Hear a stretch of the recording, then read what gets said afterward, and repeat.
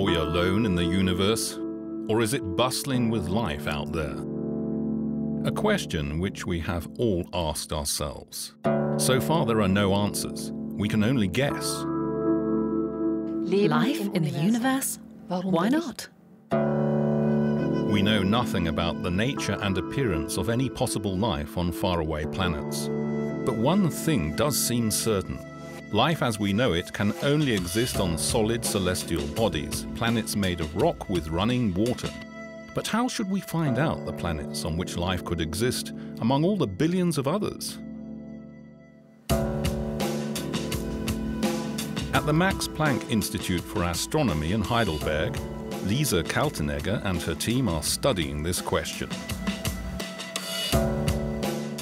We're searching for life in the universe, in other worlds, on exoplanets. That means on planets which orbit other suns. But exoplanets cannot be reached by humans like us.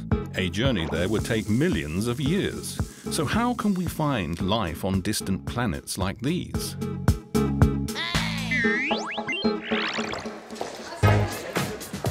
Lisa Kaltenegger and her team know that life leaves traces, a characteristic fingerprint.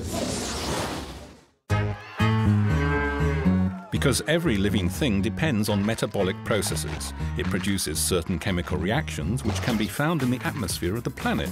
Humans and animals, for example, produce CO2 when they breathe and methane during digestion.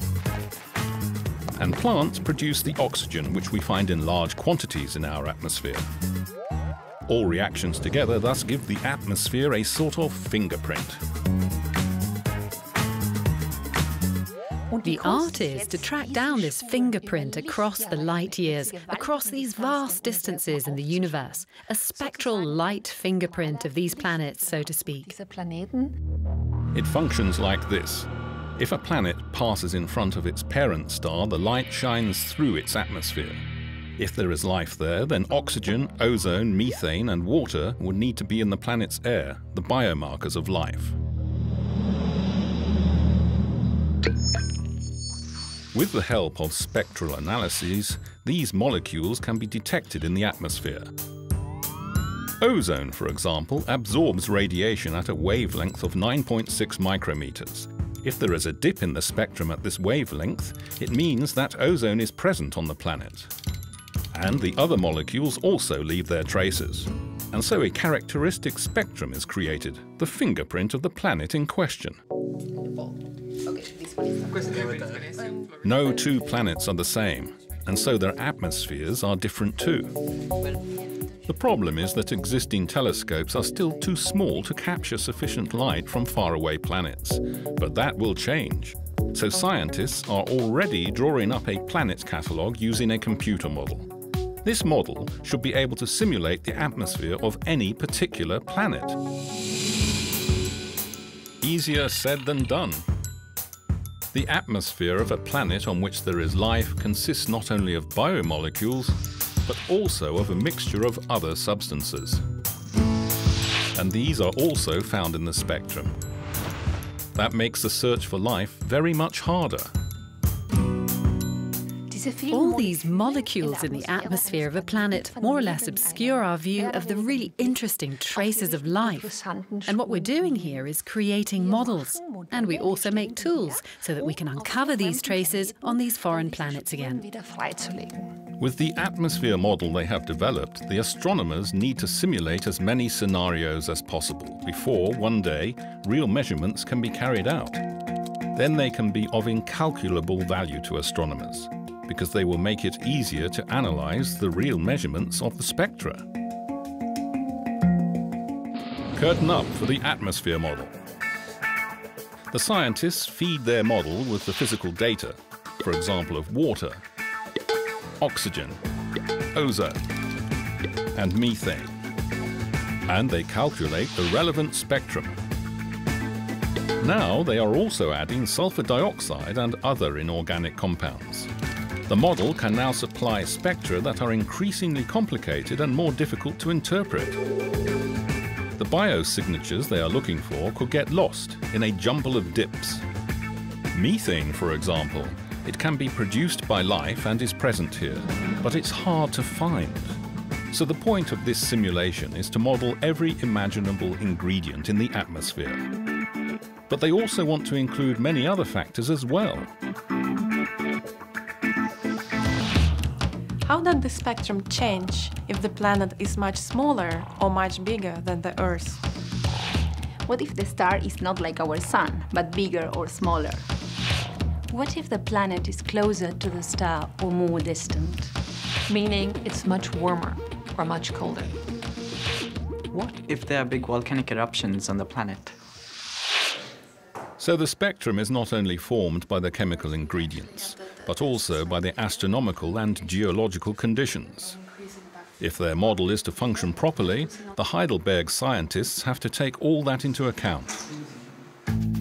So their model is equipped with numerous controls. Each one can be adjusted as required. The size of the star and the planet. Their temperature. And even the volcanic activity and the concentration of greenhouse gases in the atmosphere. Each new setting will change the spectrum of the atmosphere and perhaps obscure the signals of the biomolecules. Even though the scientists try to include realistic scenarios and spectra, it is a model and has to be measured against reality. That is why Kaltenegger and her team need to test it.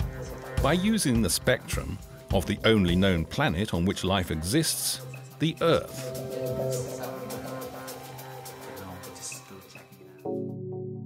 In the early 1990s, the satellite Galileo recorded a detailed spectrum of our Earth.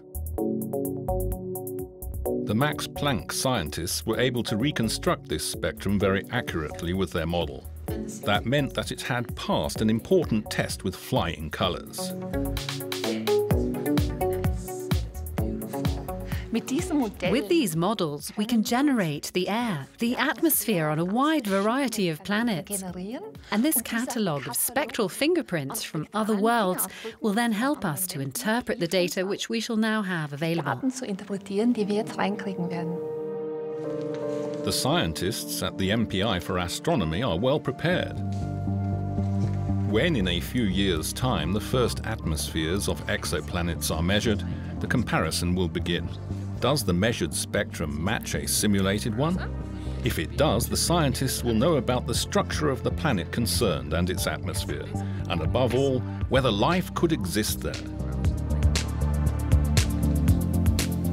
We know of almost 1,800 exoplanets so far, when the new James Webb Space Telescope starts operating in space in a few years' time, the Heidelberg scientists will receive the real data from space that they so badly need. If in a measured spectrum we find oxygen, water, and methane together, we know that on this other planet there could also be life like ours. And that would be the sensation of the millennium.